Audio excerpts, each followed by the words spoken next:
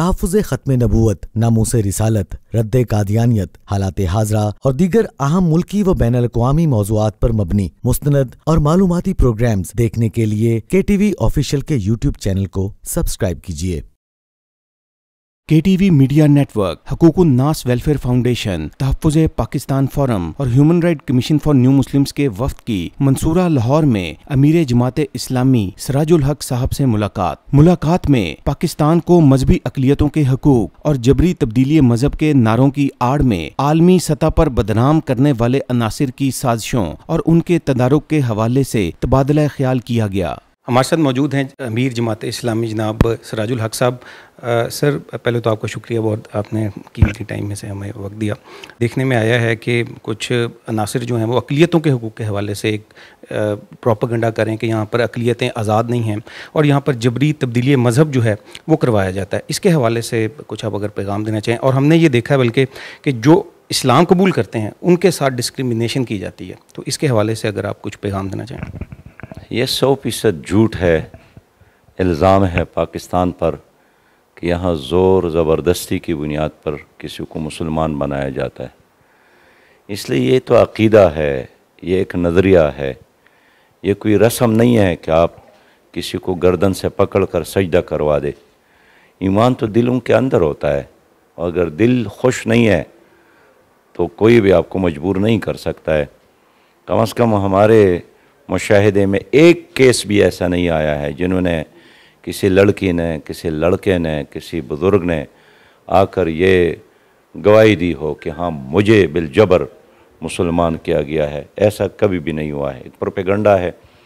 अलबत् ये ज़रूर है कि जो लोग अपनी मर्ज़ी से मुसलमान होते हैं तो फिर उनके साथ एक बहुत इम्तियाज़ी सलूक होता है।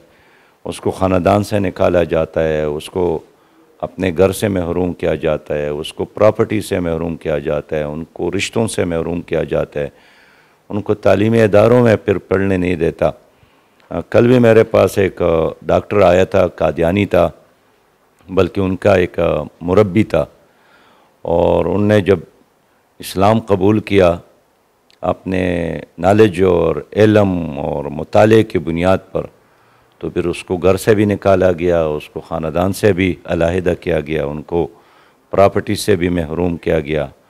और फिर उसने चनाब नगर छोड़कर पंजाब की दूर दराज इलाके में अब रिहाइश शुरू की है। तो उनका यही कहना था कि पाकिस्तान की हुकूमत की ज़िम्मेदारी है कि ऐसे लोगों के लिए रहने का इंतज़ाम करे, उनके लिए पढ़ने का इंतज़ाम कर ले, उनके लिए रोज़गार का इंतज़ाम करे।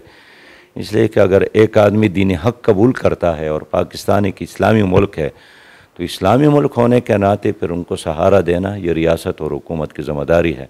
जमात इस्लामी का यही सोच है कि अकलीतों के हकूक़ की हिफाजत भी हो, उनकी जान का, उनकी माल का और उनकी इज़्ज़त का। और हमने तो तजवीज़ दी है कि उनको अकलीती बिरदरी के बजाय भी पाकिस्तानी बिरदरी कहा जाए। इस तरह हम उनके जुमला हकूक़ के तहफ़ उसके अलमबरदार है। लेकिन जो लोग मुसलमान हो जाते हैं, उनको भी बेसहारा नहीं छोड़ना चाहिए और उनके लिए भी छत की ज़रूरत है, सहारे की ज़रूरत है, रोज़गार की ज़रूरत है, तालीम की ज़रूरत है। सर, आप क्या समझते हैं कि इस बारे में अगर कोई लेजिस्लेशन न्यू मुस्लिम के हवाले से पाकिस्तान में की जाए तो उसके हवाले से इसकी कितनी, किस हद तक गुंजाइश है? वैसे ऑलरेडी इसके बारे में बहुत अच्छी तजावीज़ तो मौजूद है लेकिन आज मैं आपका शुक्रिया अदा करता हूँ आप लोगों ने तोज्जो दिला दी तो आने वाले मराहल में हम इन इस पर काम करेंगे। बहुत शुक्रिया जी। मेहरबानी।